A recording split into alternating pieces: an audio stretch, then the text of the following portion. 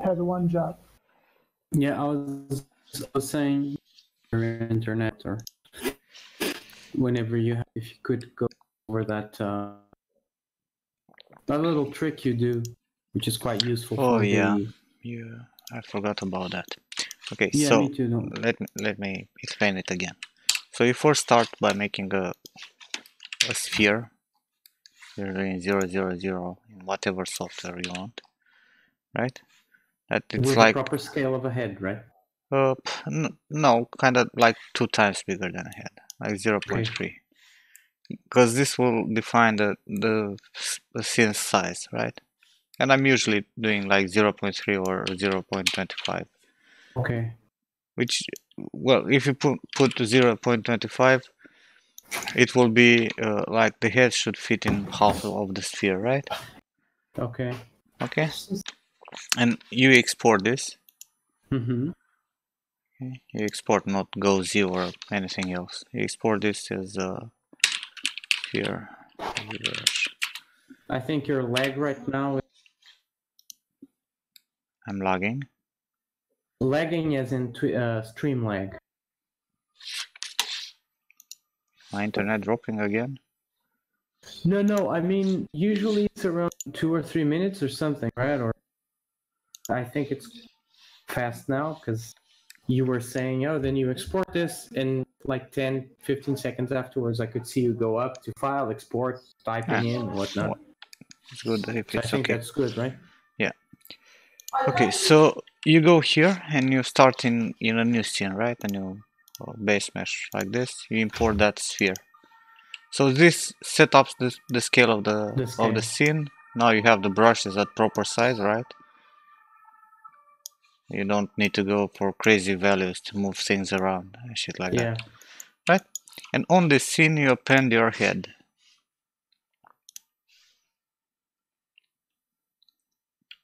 And now you have perfect symmetry. I think that actually your head it's uh, it's a bit too big. Or is it not? Let me change the shader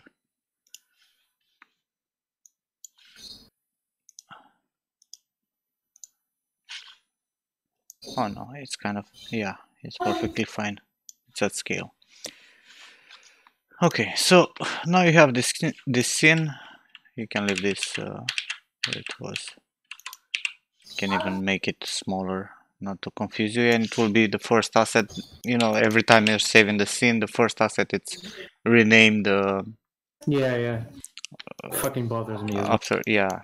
So I usually keep the sphere first asset you know so I can export everything as FBX and don't fuck up the names for baking right? If you're having baking groups and shit. Hmm So basically now, uh, with a draw size of 90, at 90 you have exactly what you have in uh, in Marmoset with uh, with 30, Oh, okay. a, a field of view of 30, uh, the nor- the default camera in marmoset the default, yeah. Yeah, if you want to go, like if you're working with some references from uh, uh, red carpet shit for likeness or whatnot, uh, which are with a um, uh, wide angle lens, like uh, Mhm. with a fall in between 80 and 110, right? You will go for something like 30 and it will work. You see, everything it gets wider. I need to kill a cat. Just a second.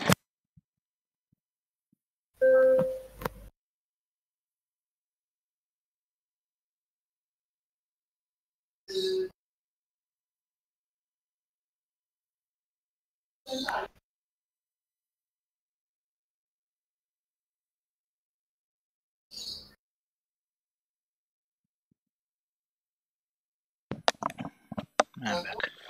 So, so basically, this is what you need to do to actually uh, have a proper perspective in in ZBrush. So you would be working throughout, uh, always with 90 then.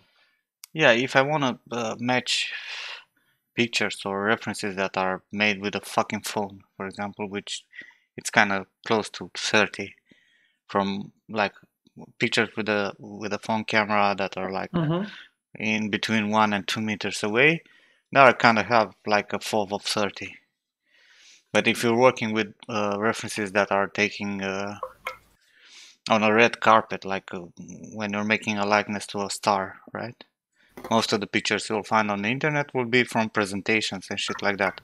Those are all made with Canons with 91, 110 and shit like that field of view. So you'll go to 30 to match this, where you actually see the from 3 by 4 you actually see the other year.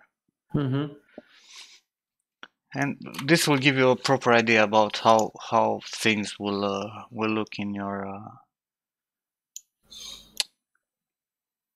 in Marmoset, right? In in any real camera environment.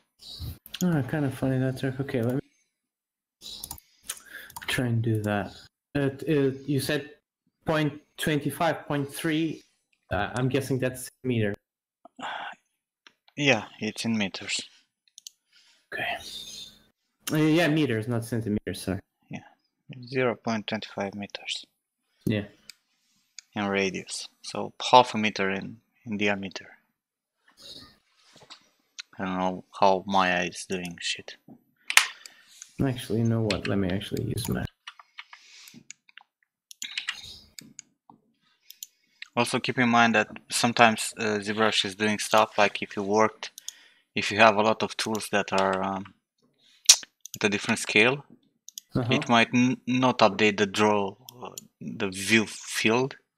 Okay. So you might need to close uh, uh, ZBrush and just load this tool that you created from scratch. Because sometimes it's it's going places. I don't know exactly why. okay, okay, like a cache or something.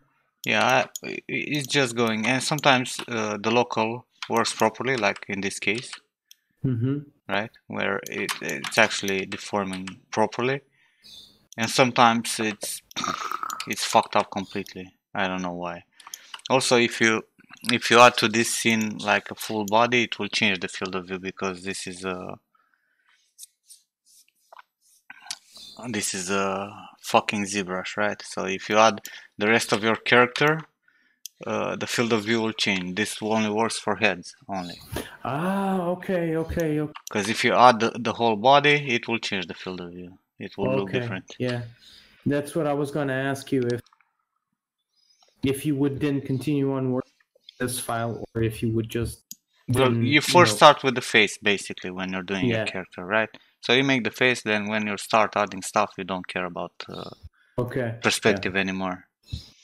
No, uh, Hannibal. I'm just explaining Raul because he he can't find in the videos where exactly was when I explained this shit. It was on Clementine, but I I I can't. It's a. sh- I should have uh, marked that, but I forgot about it. It, it it would actually be cool.